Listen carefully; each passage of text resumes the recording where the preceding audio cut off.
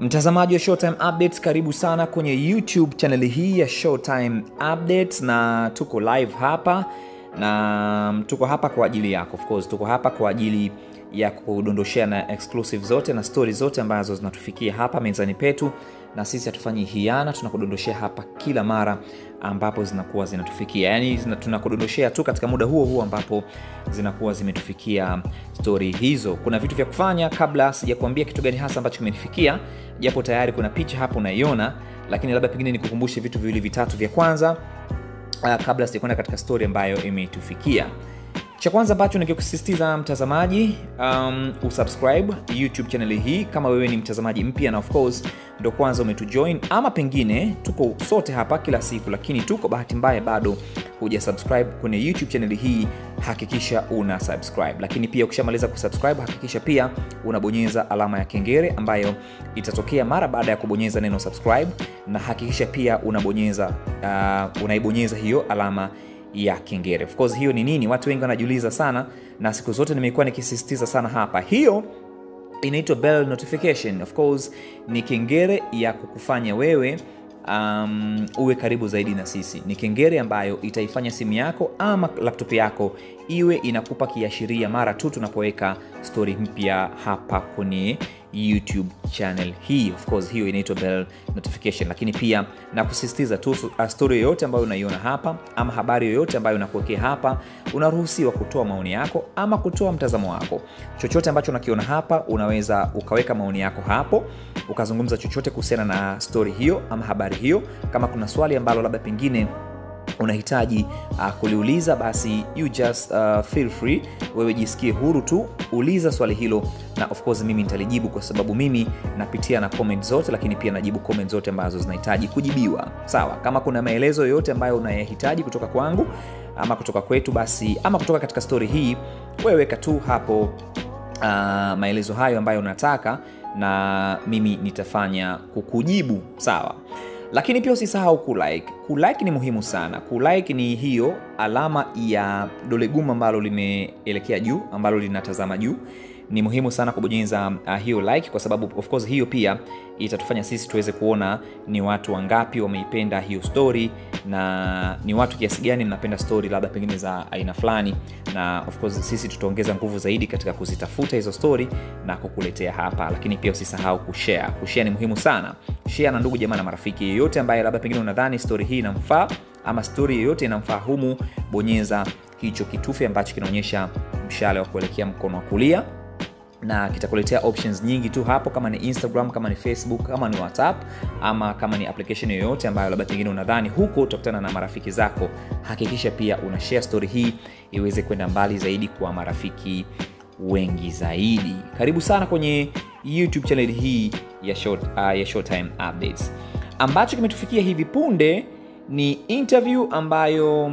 producer wa muda mrefu sana Bongo, mmoja kati ya maproducer wakali zaidi anaitwa Manuota ameifanya uh, leo na Clouds TV. Sawa, sote tunajua kitu gani hasa ambacho kinaendelea sasa hivi kati ya producer huyu Manuota pamoja na msanii A-list wa hapa Bongo anaitwa Alikiba. Labda pengine niku, uh, nikupe historia kidogo ama nikurudishe nyuma kidogo, nikuambie hasa kitu gani kinaendelea. Kama wewe ni mtazamaji mpya, pengine haujui kitu gani hasa ambacho kinaendelea ni kwamba Alikiba siku mbili zilizopita alifanya interview na Clouds uh, Digital na kuulizwa swali kuhusiana na yeye kuacha kufanya kazi na produsa wake huyu ambaye amefanya naye kazi kwa muda mrefu sana, na ni produsa ambaye akamtengenezea rekodi nyingi sana ambazo zimefanya vizuri manota na kutoa sababu za kwa nini sasa hivi hafanyi tena kazi na produsa huyu. Kitu ambacho Alikiba alikijibu ni kwamba ameacha kufanya kazi na Manuota kwa sababu Manuota ni moja kati ya maprodusa wasumbufu na amekuwa of course akimsumbua sana kwa kazi nyingi sana, kwa sababu Manuota amekuwa busy kwa sababu anafanya kazi mbili. Ana studio ya kurekodi muziki ambayo inaitwa Combination Sound ambayo amekuwa akifanya nayo kazi kwa muda mrefu sana, lakini pia ni mwajiriwa, anafanya pia kazi uh, pale um, Azam Media. Sasa Alikiba uh, amedai katika interview hiyo kwamba uh, Maniwota kufanya kazi mbili kwa wakati mmoja. Hicho kimepelekea kazi zake nyingi sana kukwama ama kazi zake nyingi sana kuchelewa kutoka kwamba hata ule uh, ucheleweshwaji wa kazi ambao Alikiba alikuwa nao katika miaka kama miwili mitatu ambayo imepita nyuma, mashabiki zake walikuwa wakimlalamikia sana katika mitandao kuhusiana na yeye kuchelewesha kutoa kazi, akitoa kazi aidha moja ama kazi mbili kwa mwaka. Anasema hiyo ni situation ama ni hali ambayo ilikuwa inasababishwa na producer wake huyo. Kwa hiyo um, Alikiba akazungumza vitu vingi sana na akasema kwamba um, aliachana rasmi kufanya kazi na, na, na Manuota na hakuachana na Manuota kienyeji japo kuna kazi nyingi sana ambazo zimebaki pale kwa Manuota ambazo Alikiba alidai kwamba ameamua kuzisusia ama ameamua kumwachia Manuota, sio kwa sababu labda pengine amekosa pesa ya kuweza kuzilipia hizo kazi, lakini aliamua kuzisusia na kumwachia Manuota kwa sababu uh, ya usumbufu ambao Manuota amekuwa nao, lakini pia akasema kwamba hakuachana naye kienyeji, alimtamkia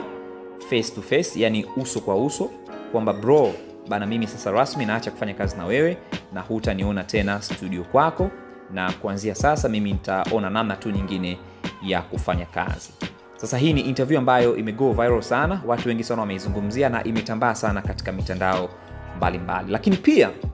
nataka nikuambie kitu kabla ya interview hiyo ambayo Alikiba aliifanya na, na, na Clouds Digital, na Clouds Digital kama siku mbili zilizopita, ni kwamba tayari kulikuwa kuna interview ambayo ilitangulia ya wote ambayo alifanya, uh, alifanya na Azam TV na pia kuzungumzia scenario ambayo inataka kufanana na hiyo. Kikubwa ambacho Manota alikizungumza katika, uh, katika, ile inter, katika ile interview pamoja na mambo mengine mengi sana ambayo aliyazungumza ni kwamba sasa hivi hafanyi kazi na Alikiba kwa sababu Alikiba ameshindwa kulipia kazi ambazo tayari amekwisha zifanya pale studio kwake pale Combination Sounds, na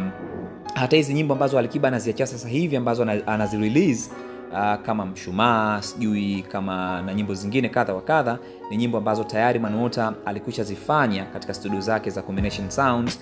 lakini Alikiba ameshindwa kuzilipia kazi hizo, ndio maana zimebaki, na anachokishangaa ni kwamba kwa nini Alikiba amekwenda kuzirudia kazi hizo katika studio zingine tofauti, na akasema kwamba hiyo pia haiwezi kumuumiza wala haiwezi kumchanganya kwa sababu uh, yeye ni producer ambaye anajiamini, yeye ni producer ambaye anazijua haki zake. Kwa hiyo pamoja na kwamba Alikiba amezirudia nyimbo hizo ambazo tayari zimeshafanywa katika studio yake na Alikiba bado haja, uh, I mean hajazilipia lakini bado um, anahitaji malipo ya kazi hizo japo zimekwisha toka kutoka katika studio zingine ama zimefanywa tofauti katika studio zingine, lakini kwa sababu yeye ni producer ambaye um, anazijua haki zake, anaamini haki yake ipo na bado kazi hizo Alikiba atatakiwa kuja kuzilipia. So interview ya Alikiba ambayo aliifanya na Clouds Digital ilikuwa ni interview ya pili uh, baada ya ile interview ya kwanza ambayo Manuota ameifanya. Sasa kinachoendelea jioni hii ni majibu ya Manuota baada ya hiyo interview ambayo Alikiba aliifanya na Clouds Digital kama siku mbili zilizopita. Sawa, Manuota amezungumza vitu vingi sana sana sana sana, lakini mimi nitagusia vitu uh, vichache ambavyo Manuota amepata nafasi ya kuvizungumzia. Kwanza, Manuota amekanusha baadhi ya mambo ambayo Alikiba um, um, uh, aliyazungumzia katika hiyo interview. Cha kwanza ambacho Manuota um, amekikataa ama amekidinai ni kuhusiana na usumbufu wake. Manuota amesema kwamba yeye hajawahi kuwa producer msumbufu, na sio hilo tu, bali pia hajawahi kuhusika na ucheleweshwaji wa kazi yoyote ya Alikiba. Kikubwa ambacho Manuota amekizungumza katika hilo, jambo la kwanza amesema kwamba of course Alikiba mwenyewe ndo amekuwa msanii mzito, uh, na amesema kwamba of course yeye ndiye mmoja kati ya watu ambao walikuwa wanampushi Alikiba kufanya vitu vingi, kurekodi, si ndio, kuwa na stoku ya nyimbo nyingi pamoja na vitu kama hivyo, na, na akatoa mfano wa rekodi kama Dushelele, namna ambavyo aliitengeneza na namna ambavyo aliweka nguvu zake katika rekodi hiyo mpaka ikaja ikakamilika, rekodi ambayo Manuota anadai kwamba ni moja kati ya rekodi ambazo zilimrudisha Alikiba, though baada ya rekodi hiyo Alikiba pia alirudi nyuma kwa kukaa kimya kwa zaidi ya miaka mitatu kwenye gemu ya Bongo Flava, si ndio?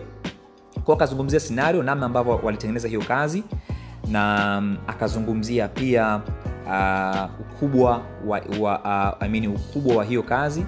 na kudai kwamba hiyo ni kazi ambayo pia iliweza ilipata pia nafasi ya kumpatia Alikiba at least hata tuzo ya kwanza na kutoa gundu la Alikiba kutokupata tuzo kwa sababu kabla ya Dushilele Alikiba hakuwa na tuzo yoyote sawa. Lakini pia hapa katikati kazi ambazo amezifanya Mwana ambayo ilimrudisha Alikiba kwenye game ya Bongo Flava na nyimbo zingine tu zozote ambazo zimefuatia. Kwa hiyo hicho ni kitu cha kwanza ambacho manota uh, uh, amekizungumza kwamba yeye hajawahi kumkwamisha Alikiba na hajawahi kuwa producer msumbufu, si ndio? Uh, ni uvivu wa Alikiba mwenyewe ama uzito wa Alikiba mwenyewe ndio ambao uh, umekuwa ukisababisha matatizo ya kuchelewa of course kazi kutoka kwa wakati pamoja na ishu kama hizo, lakini pia kazungumzia namna ambavyo alikuwa anafanya kazi na Alikiba, si ndio? Makubaliano ambayo walikuwa nayo management ya Alikiba, namna ambavyo ilikuwa inafanya naye kazi, sindio? Um, na malipo ambayo alikuwa akiyapokea katika kazi hizo. Lakini pia kikubwa ambacho nimekichukua katika interview hiyo ya Manuota ni imani yake katika, ku, uh, katika kumaliza haya matatizo ama katika kumaliza haya maneno maneno room ambayo ameitengeneza kwa Alikiba kurudi kwake yeye uh, kuweza kumalizana naye kwa, ku, uh, kwa kumaliza maneno maneno haya ambayo pengine yeye anadhani uh, hayana msingi sana, sindio? Lakini peng, kitu kingine ambacho anadai kimemuuma sana ni pamoja na Alikiba kuzungumza vitu tofauti kwenye interviews, lakini when it comes to linapokuja swala la wao wawili kuzungumza kwa sababu anadai kwamba Alikiba um, um, um, baada ya interview ambayo alifanya na Clouds TV alimpigia simu akazungumza. Um, anasema kwamba Alikiba akimpigia simu ama wakizungumza wao face to face, I mean wakizungumza wao uh, uh, personally, si ndio? Um, Alikiba anazungumza vitu tofauti, An anakuwa mnyenyekevu, anazungumza namna ambavyo um, Manuota amemsaidia na namna ambavyo Manuota amekuwa uh, amekuwa akimheshimu Manuota na ishu kama hizo though katika interview hapati nafasi ya kuzungumza hayo ambayo anayazungumza personally wakiwa wanazungumza wao labda pengine kupitia simu uh, na vitu kama hivyo, na bado anasisitiza kwamba anahitaji hizo pesa kwa sababu anasema uh, kuchaji 1 milioni ama shilingi milioni moja kwa, kwa, uh, I mean kwa track kwa kazi moja uh, ya Alikiba na tayari kuna kazi zaidi ya saba ambazo ziko tayari uh, studio kwake, japo zingine tayari Alikiba ameshakwenda kuzirudia katika studio zingine na kuzimaliza. Anasema kwamba ni haki yake na anaamini ni haki ambayo ataipata kwa sababu yeye anaijua haki yake ama anaithamini haki yake. Hata hicho ambacho Alikiba amekifanya kwenda uh, kwenda uh, kuzirejea ama kwenda kuzirudia hizo kazi katika studio nyingine pia Manota anaamini kwamba hicho sio sawa, na kisheria anaamini kwamba huu ni wizi kama wizi mwingine wowote, kwa sababu uh, yeye kama produsa alitumia ubunifu wa kichwa chake, alitumia ubunifu wa ubongo wake kuweza kutengeneza hizo kazi kuwa hivyo zilivyo, na kitu ambacho Alikiba aliamua kukichukua, kuchukua hizo ideas na kila kitu kwenda kufanya na maproducer wengine ambao walijaribu, walijaribu kupita tu katika zile njia ambazo Manuota alipata nafasi ya kupita katika kazi hizo sawa. Kwa hiyo anachoamini ni kwamba bado anadai haki yake na bado haki yake ni muhimu na hawezi kuiacha hiyo haki yake ipotee, kwa sababu uh, yeye sio tajiri na anahitaji hizo pesa kwa ajili ya kuweza kumsaidia katika maisha yake ya kila siku, kwa sababu uh, yuko uh, hapa kwa ajili ya kutafuta pesa na kila kitu ambacho anakifanya ni kwa ajili ya kutafuta pesa. Kwa hiyo uh, hiyo ni interview ambayo mwanawote amezungumza vitu vingi sana sana sana sana, lakini ni interview ambayo kimtazamo, uh, ukituuliza sisi kama Showtime uh, tunaweza tukasema kwamba ni um, tuna mtazamo wa kivita hivi kidogo, tuna mtazamo wa kivita though ni vita baridi ya kurushiana maneno, lakini ni, ni vita. E, ni vita kati ya Manuota pamoja na msanii ambaye amekuwa naye kwa muda mrefu sana na amefanya naye kazi kwa muda mrefu sana ambaye Uh, ni Ali Kiba. Hatujui vita hii itakwisha lini, hatujui vita hii itakwishaje kwishaje, lakini ni kitu ambacho hakina afya sana katika muziki wa Tanzania, ni kitu ambacho hakina afya sana katika keria ya muziki ya Ali Kiba ama keria ya production ya Maniota na um, hasa sisi kwa mtazamo wetu tumeshtuka sana pale ambapo Maniota aliweza kutamka uh, neno ambalo uh, kama si zuri sana Uh, la kusema kwamba kwa sasa hivi anamuona ama anamchukulia Alikiba kama adui anamuona ama anamchukulia Alikiba kama adui, neno ambalo kiukweli tumeliona kama ni neno kali sana ama kama ni neno gumu sana ambalo nadhani pengine kwa Alikiba ama Manuota uh, si, si neno zuri ama si jambo zuri ama sio situation nzuri ambayo labda pengine inaweza ni uh, ina afya katika muziki wa Bongo Flava Tanzania. Hatujui wewe una mtazamo gani? Weka maoni yako hapo, acha komenti yako hapo, sema maoni yako kuhusiana na stori hii, kuhusiana na vita hii kati ya producer Maniota pamoja na msanii A-list wa Tanzania Ali Kiba. Una swali uh, liweke hapo swali, mimi nitaliuliza. Kuna maelekezo unayohitaji yaweke hapo, mimi nitakupa maelekezo hayo pamoja na kila kitu. Kama wewe ni mtazamaji mpya, usisahau kusubscribe, hilo ni muhimu sana sana sana. Bonyeza alama ya kengele, of course hiyo ni bell notification, itakufanya uwe karibu zaidi na sisi, lakini pia tunakusisitiza tu usisahau kulike pamoja na